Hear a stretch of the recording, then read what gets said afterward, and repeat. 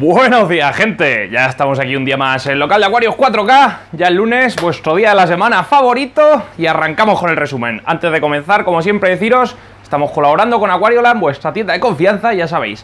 Os han ofrecido a todos un 10% de descuento para que en el caso de que queréis comprar en la tienda, os paséis por el carrito de compra al final, o sea, por el carrito de compra al finalizar la compra le dais a validar el código de descuento. ¿Cuál es la página web? www.aquarioland.es y el código de descuento que tenéis que emplear, Aquarios 4K. Dicho esto, comenzamos. La bestia, ¿qué ha pasado esta semana? Nada, sin novedades en el frente. A la espera estamos, así que nada, poco que comentaros de la bestia. Ahora la enseñaremos un poquito para que veáis cómo va el tema. Bueno, los, los Ancistrus han cavado, hay una especie de cueva que ahora la veremos. En el acuario de 150 litros marino eh, no hay novedades, pero está todo muy bien. Ahora lo enseñaremos un poquito por encima. El plantado ya le están metiendo mano, están replantando otra vez las plantas y saneándolo un poco y a ver si van consiguiendo que esto, que esto arranque.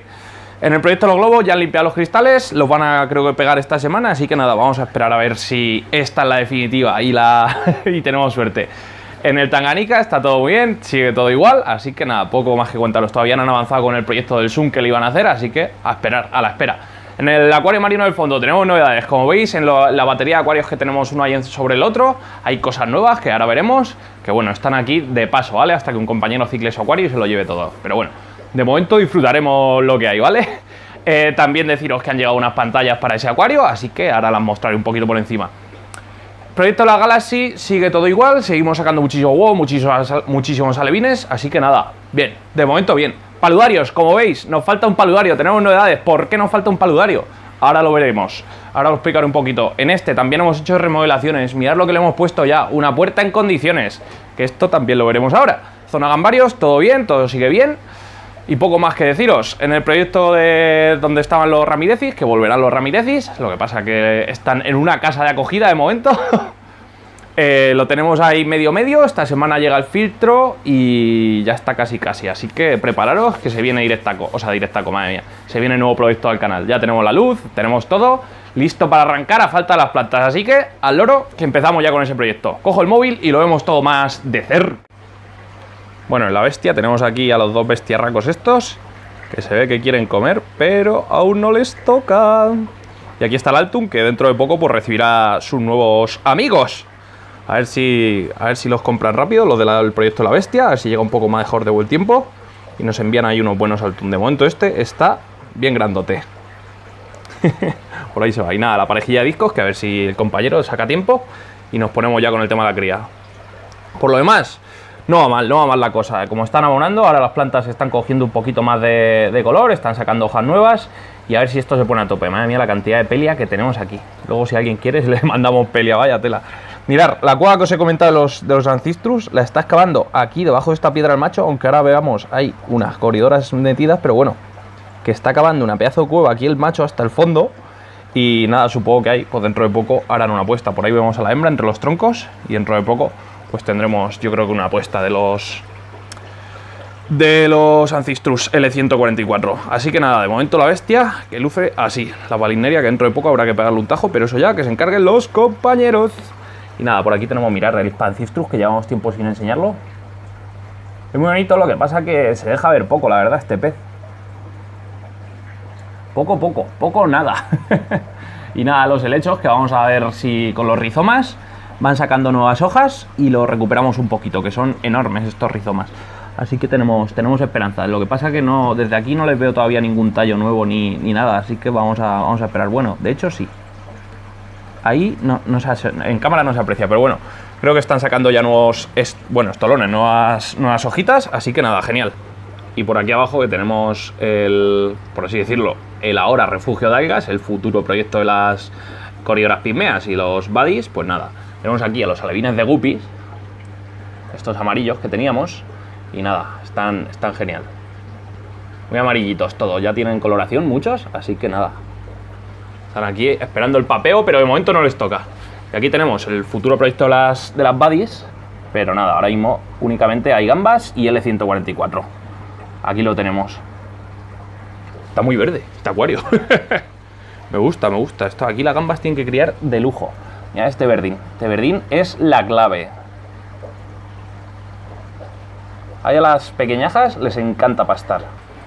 Bueno, en el acuario de 250 litros, la única novedad que sí que hay, tenemos una apuesta de, si no me equivoco, de, de eh, Caudernis, que es de este macho de aquí, de esta parejita de aquí, que ya son pareja confirmada, pues nada, el macho lo hemos desembuchado esta semana. Y ahí tenemos la apuesta. Son poquitos, pero bueno, eh, acorde con el, con el, tamaño de los peces, ¿vale? No pueden hacer puestas de 40 o 50 huevos porque son todavía pequeñicos. Y por lo demás, está todo genial. Eh, algunos nos habéis preguntado de cómo tenemos los Zoanthus. Ahora mismo no se ve muy bien que esté muy, muy abiertos y tal porque acabo de encender las luces. Pero nos habéis preguntado de por qué los Zoanthus nuestros están abriendo las cabezas tanto, por qué tienen tanta coloración. Eso es entre otras, entre otras cosas por la alimentación que les estamos dando, ¿vale? Ya sabéis que estamos alimentando con, con fitoplancton vivo, ¿vale? O sea, con fitoplancton digo yo, con zooplancton vivo. En este caso son rotíferos. Y estamos, mirar, el mandarín. Aquí lo tenemos estamos añadiendo, pues eso, cada dos, tres, cada cuatro o cinco días creo que es, estamos añadiendo pues ese zooplancton tan necesario para la vida marina y que aporta un extra a este acuario, ¿vale? Si queréis saber cómo lo hacemos, pues estaros atentos esta semana que traeremos un tutorial si queréis y no lo ponéis en los comentarios, si no, pues no. Si queréis tutorial sobre cómo tener eh, cepas de fitoplancton vivo en nuestras casitas, nos lo ponéis en los comentarios y lo tendréis. Y si no, pues nada, pues no lo tendréis. El coralero, que está amaneciendo todavía, pero mira, también vamos a hacer, eh, si nos llega rápido el cemento o, lo podemos comprar rápido esta semana, queremos hacer un tutorial sobre cómo esquejar y cómo hacernos nuestras propias setas caseras. Pero bueno, eso ya, si nos llega tiempo, lo veremos. Mirad la cantidad de milka que hay detrás. Pues nada, ahora está amaneciendo, por eso tiene este azul tan intenso, por así decirlo, este Royal Blue. Así que nada, lo dejaremos que amanezca. Esta semana, igual que tuvimos semana de gambas la semana pasada, esta va a ser un poquito la de marino, aunque también va a haber gambas porque tenemos... Ahora, ahora os comentaré. Bueno, en el plantado, eh, poco a poco, poco a poco, como digo yo siempre. Eh, ya están los compañeros otra vez con el tema de los abonos y demás. Y nada, a ver si van evolucionando favorablemente las plantas, van repodando, van replantando. Mirad, esta planta, la hidrocotile tripartita, la recomendamos para acuarios de iluminación media en el vídeo que hicimos la semana pasada. Así que nada, si alguien lo quiere ver, que se pase por ese vídeo. Por lo demás, pues nada, vamos a ver si mirar esta planta. A ver si tira bien. Lo que pasa es que esta sí que necesita una rutina de abonado muy, muy, muy buena y una iluminación muy buena. Así que no sé si tirará aquí del todo bien. Pero bueno, ya lo iremos viendo cómo va evolucionando este proyecto. De momento, aquí va el asunto. Mirad las hembras de, de. Solo tenemos hembras. De los cuatro que nos quedamos han salido cuatro hembras, así que nada, mala suerte hemos tenido. Nada, ya iremos viendo cómo va el tema. En el proyecto Los Globos, lo que os he comentado, ya están los cristales limpios y listos para pegar. Por lo demás, Tanganica, zona Tanganica. ¿Cómo está el tema? Pues el tema está como siempre. Aquí están las frontosas, listas para rellenar con jabón, con jamón y al horno. Aquí estamos viendo, se, están pegando caña últimamente. Entre, mirar, esas dos están todo el día igual. Y si no, el Alto Lamprologus, cuando la pilla, la echa. Lastimica. Esta se está llevando unas cuantas leches sabemos por qué, pero bueno, es normal, son peces territoriales y al final algo de caña se mete entre ellos. Mira esta como tiene la aleta dorsal. Este es un macho, pero no me lo comparéis con ese macho. el macho cabrío. Y nada, aquí tenemos alevines en la paridera. Que ya lo mostramos la semana pasada, pues aquí están. Uy, ese qué mala pinta tiene. Qué mala pinta. Bueno, y por aquí tenemos a las incubadoras estas de los frontosas. Muchos nos preguntáis que dónde las compramos. Estas las compramos en, AliExpress, ¿vale? Son incubadoras para cíclidos. Mirad, a ver si bajan. ¡Epa! Ya veréis. Les he cortado el flujo de aire y a ver si bajan las que están arriba. Hay un montón ya. Estas ya están para sacar. Y estas solo les queda. Pero estas están ya para sacar, ya veis que no tienen saco vitelino, estas ya se empezarían a alimentar perfectamente. Por lo demás, muy bien. Ahí está la colonia multifaciatus y aquí está el resto de alevines, así que nada, Aquí, así está el proyecto Tanganica a día de hoy. Bueno, en el marino del fondo, como veis, tenemos grandes novedades que ahora iremos viendo. Mirar, aquí es que hemos metido aquí sin, tener espacio. Madre mía, no se ve con el reflejo del Tanganica. Mierda, Tanganica. segundo. Así casi que mejor, ¿eh? Eh bueno, eh, aquí coral para aburriros. Todo lo que ha traído el compañero, porque ha comprado un desmonte y nada. Hasta que termine de montar el acuario en su casa, tiene que dejar aquí todo esto Así que nada, lo, iremos, lo tendremos por aquí disfrutando de esto hasta, hasta que se lo lleve todo. Por ahí atrás están los Picasso, están con su anémona, pero claro, se ponen ahí atrás y a nosotros no nos hacen ni caso. Así que nada, por aquí los tenemos. Aquí abajo, ¿qué más hay? Pues mirar, un hepatus, aquí hay un montón de cosas, cirujanos amarillos. Estos son los peces del desmonte que bueno, los hemos tenido que meter aquí de momento. Y aquí estarán hasta que se vayan, hasta que se lo lleve el compañero. Es enorme el cirujano amarillo este, la verdad. Bastante, bastante grande. ¡Eh!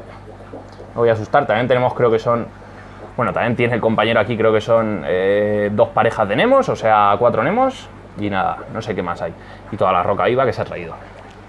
Por aquí, ¿cómo va el patio? Pues este sigue igual, aquí no hemos metido nada. Pancho Villa está aquí de momento, aunque ya le hemos tenido que sacar todos los LPS. Es que, es que, mira que eres...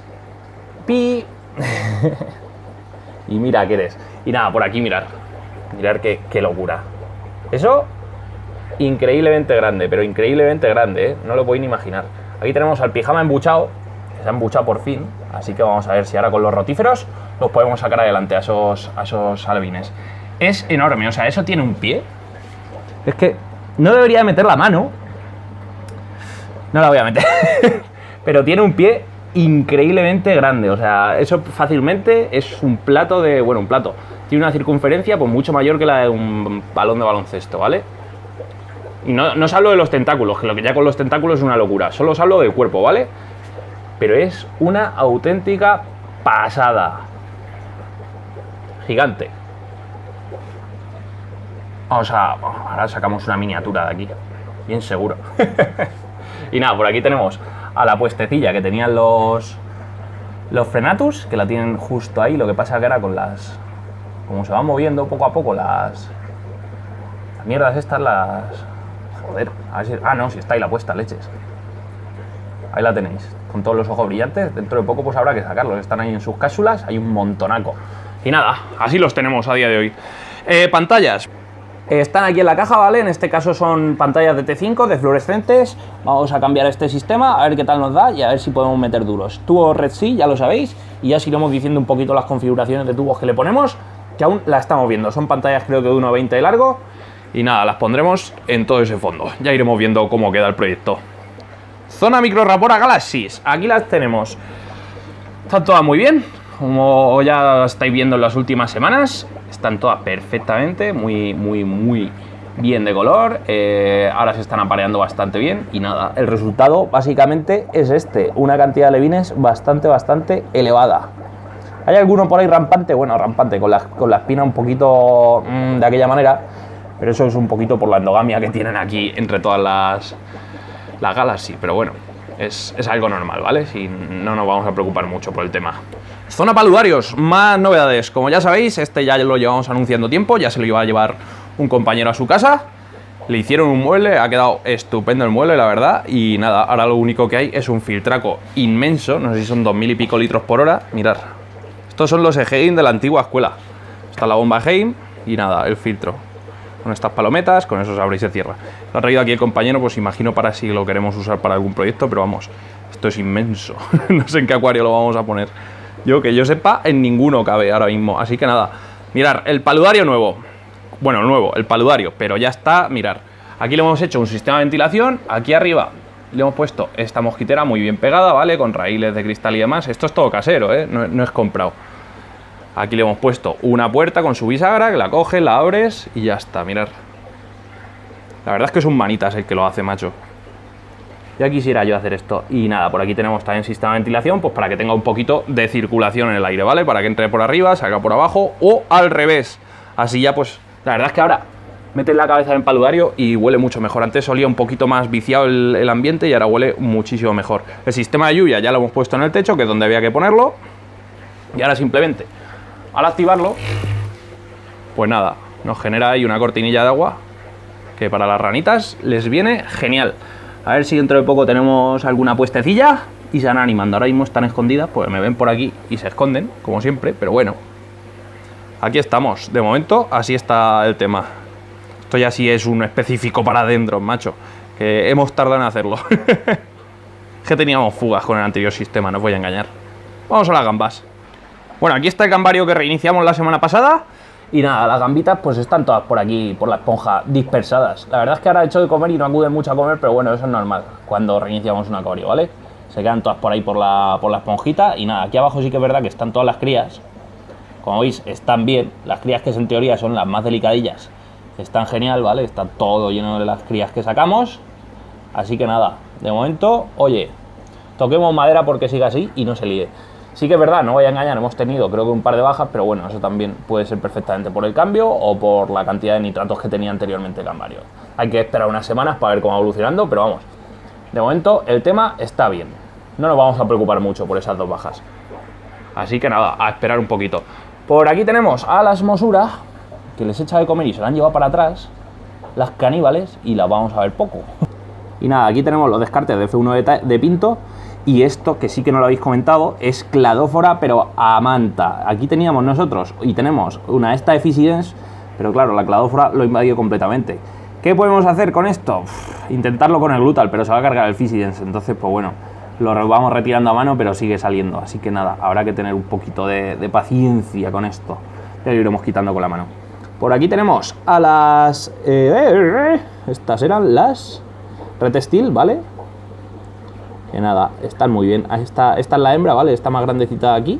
Esa es la hembra que ya nos ha desobado esta semana, así que tendremos que tener alguna cría, por cierto.